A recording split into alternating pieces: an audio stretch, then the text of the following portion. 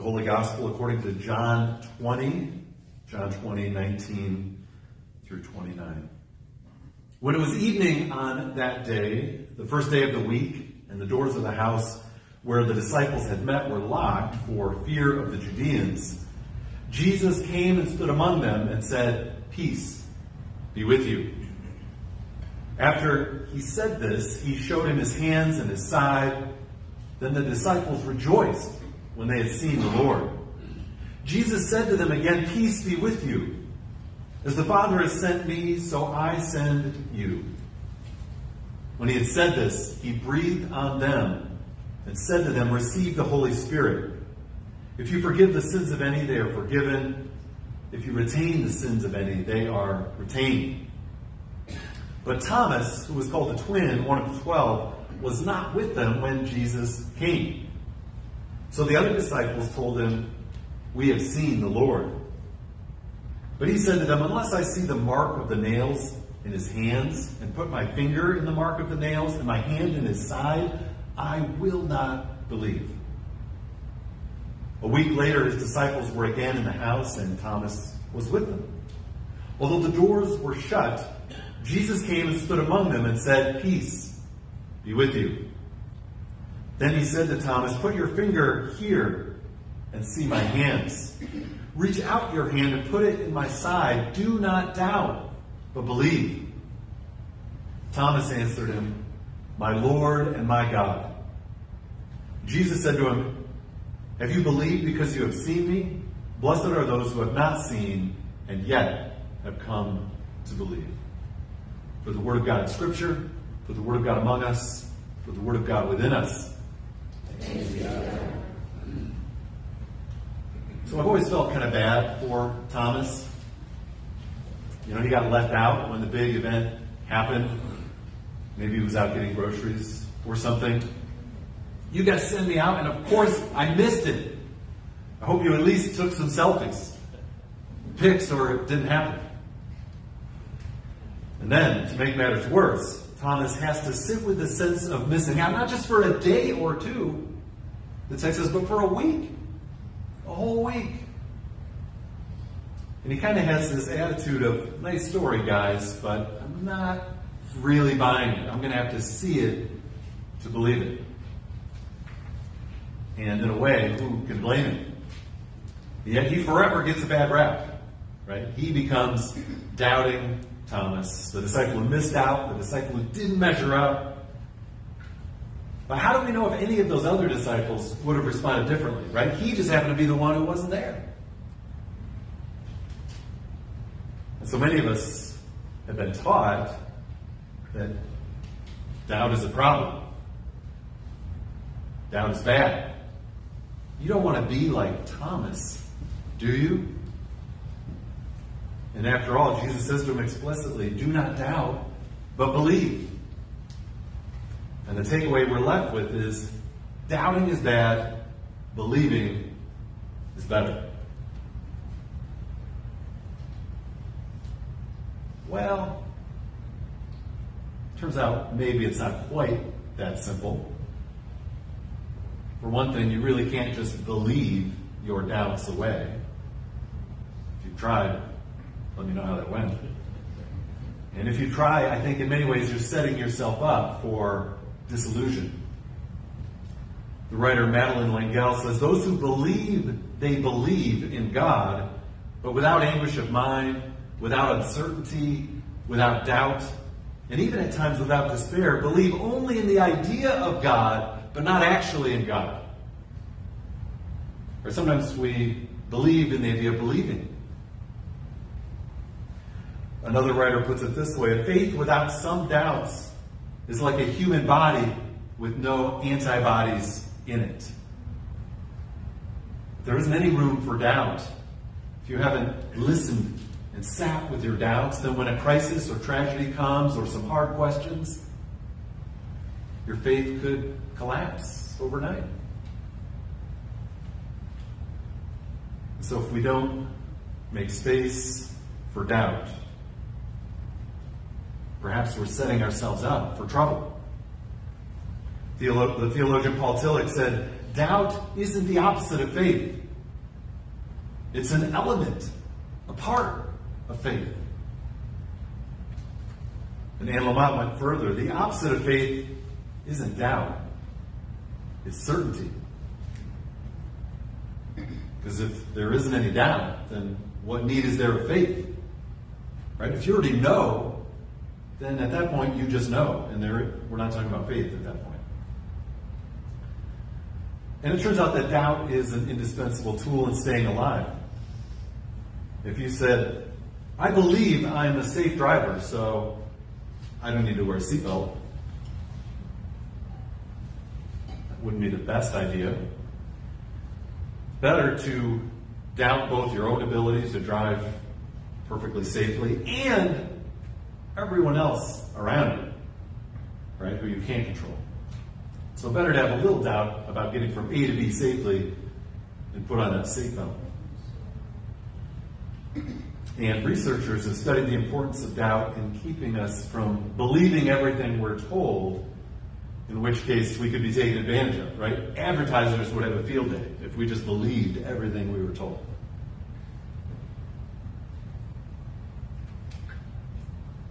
We need a healthy amount of skepticism to keep from buying every product that promises us instant happiness, a perfect body, a perfect career, a perfect life.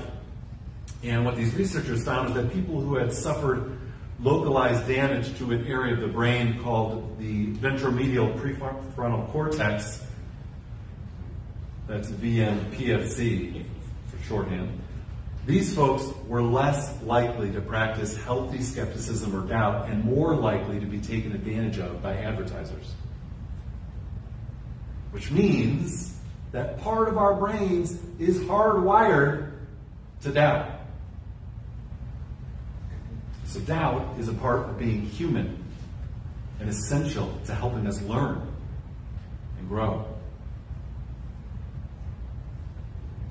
Some years back, a member of the National Coalition to Abolish the Death Penalty was demonstrating against an execution in Alabama. And he was holding a sign that said, Jesus was executed. Well, it turned out there was someone else protesting in favor of the execution, which feels like an awkward thing to protest for, but they were there. And this person was a good church going person and saw this sign that said Jesus was executed, and he took issue with it. He comes over to the guy and he says, Jesus' death really wasn't an execution because it was the will of God foreordained for our salvation. so what can happen is that we so theologize Jesus' death that we can forget, yeah, he was executed by the state. Paul Nuechterlein says this is what Paul meant by the cross being a scandal. It's so hard for us to face what Jesus experienced that we want to cover over his death with a comfortable myth. Which brings us back to Thomas. I'd always assumed that what Thomas was doubting was the reality of the resurrection. But what if he's doubting something else? Remember what he says unless I see the mark of the nail in his hands and put my hand in his side. What if Thomas isn't doubting the resurrection but the crucifixion? What if he's doubting the fact that God would raise someone from the dead who had been executed in utter shame? That puts this story in a slightly different light. Again, think of the disconnect of this churchgoer who was in favor of capital punishment. By believing that God needed, maybe wanted Jesus to die, planned for Jesus to die, we imagine that God needs violence to accomplish God's purposes. And if God needs violence, well, then our violence is okay too. What is harder to believe for both Thomas and all of us is that God is not only not using and affirming violence, but the opposite. showing us the triumph of the way of peace and love and nonviolence. And you could argue that the violence done by a few in that single moment in history to Jesus reflected not just the few Roman soldiers who are actually doing the deed, but the violence all of humanity has believed in and committed, including ourselves. And yet God forgives our violence and shows us a better way.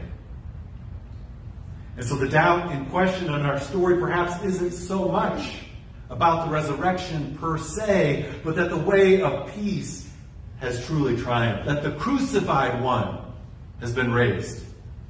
And what we are invited to doubt is that our way of violence is the only way. And what we are invited to believe is that Jesus' way of peace is the better way. But of course, all signs point to us believing and doing the opposite. Instead of doubting our violence, we believe in it more strongly than ever before. Instead of understanding that words written hundreds of years ago may need to be updated to make sense today, we instead imagine that the Second Amendment is more sacred than Scripture itself. And when more school children get shot up, or folks simply going to the bank, or vacationers relaxing on the beach, the answer again and again in this country isn't to doubt the sacred right of violence, but to double down on it. The answer to gun violence, we're told repeatedly, is more guns. We need armed guards at every school. We need armed teachers. We even should be armed at church.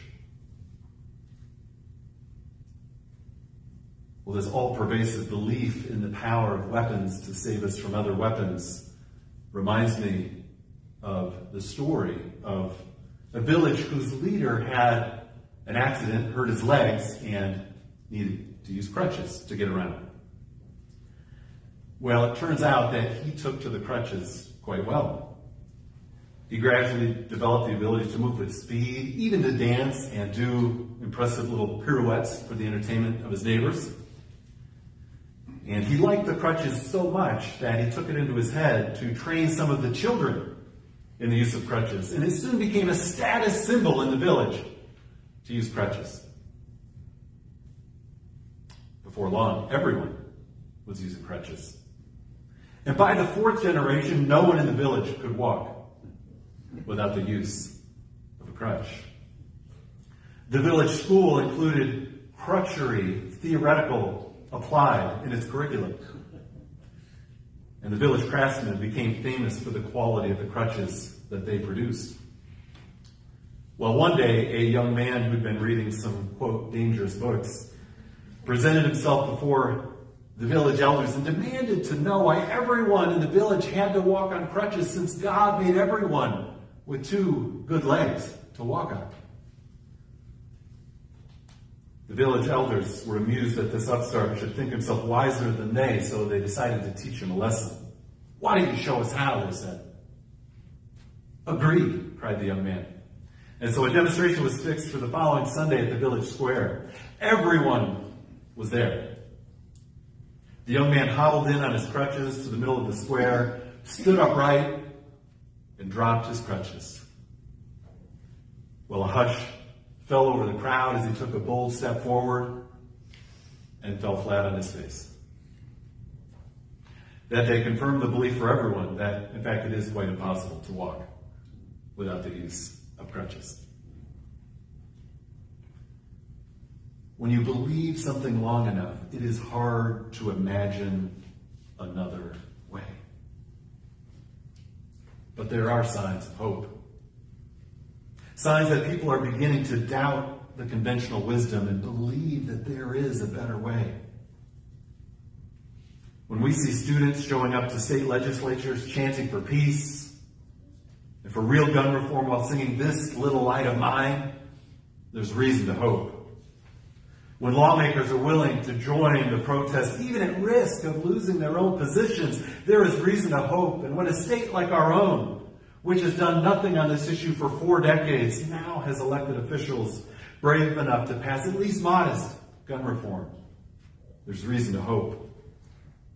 When folks like Shane Claiborne are melting guns into garden tools, we might begin to believe that the old words of the prophet might still have some life, that they shall turn their swords into plowshares and study war no more.